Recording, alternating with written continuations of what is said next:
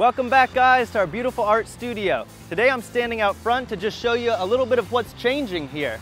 And the main thing is this beautiful new installation piece of artwork.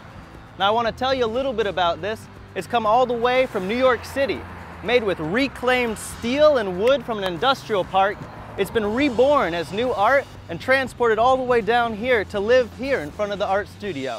We wanted to show you all the changes that are going on so as you're speeding by, you don't miss us anymore. You can see right where to take a turn in, come on into our air conditioning and make some beautiful art, try our strong coffee, and come and think about what this art means to you too. Come on in.